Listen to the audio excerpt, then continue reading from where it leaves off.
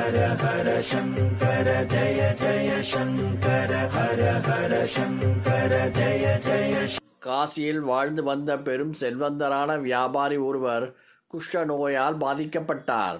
மன வருத்தம் அடைந்த அவர் மனைவி மக்கள் ஏராளமான செல்வம் எல்லாம் இருந்தும் ஆரோக்கியம் இல்லாவிட்டால் என்ன பலன்? என்று புலம்பினார்.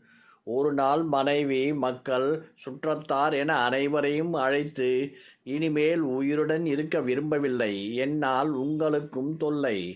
என்னை அழைத்து கொண்டு போய் கங்கையில் போட்டு விடுங்கள் என்றார்.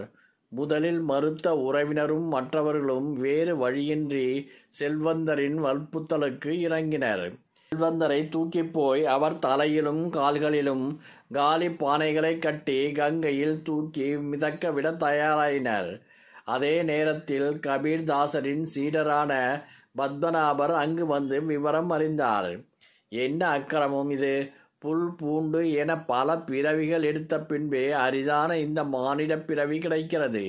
அப்படி கிடைத்த இந்த பிறவியை தற்கொலை செய்வதில் ஈடுபடுத்தலாமா என அறிவுரை கூறினார். ஐயா பரிகாரங்கள் பலவும் செய்துவிட்டேன். பலன் எதுவும் இல்லை. அதனால் தான் இந்த முடிவு என்றார். நடந்ததை விடுங்கள். இப்போது நீங்கள் ராம ராம ராமா என்று மூன்று முறை சொல்லுங்கள். பகவான் அருளால் உங்கள் நோய் குணமாகும்.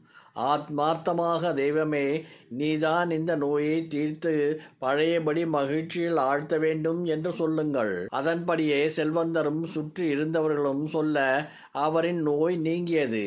பத்மநாபரின் திருவடிகளில் விழுந்து வணங்கினார் செல்வந்தர். அனைத்தும் ஈசன் செயல் என்றபடியே அங்கிருந்து போய்விட்டார் பத்மநாபர். தகவலறிந்து பத்மநாபரை அழைத்து சீடனே வியாதி நீங்க ராமநாமத்தை ஆத்மார்த்தமாக ஒருமுறை சொன்னாலே போதுமே. நீ மூன்று முறை ஏன் சொல்லச் சொன்னாய் என்று கேட்டார் கபீர்தாசர். குருநாதா தங்கள் திருவடிகளை பணியாத அச்செல்வந்தரின் குறைதீர ஒரு முறையும் அவருடைய நோயும் பிறவியும் தீர ஒருமுறை சுற்றி இருந்த மக்கள் நல்வழியில் நடக்க ஒருமுறை என்பதற்காகவே மூன்று முறை ராமநாமம் சொல்லச் சொன்னேன். தம் சீடனை வாழ்த்தி கபீர்தாசர் இப்போதுள்ள நிலையில் தெய்வத்தை தவிர வேறு துணையே இல்லை.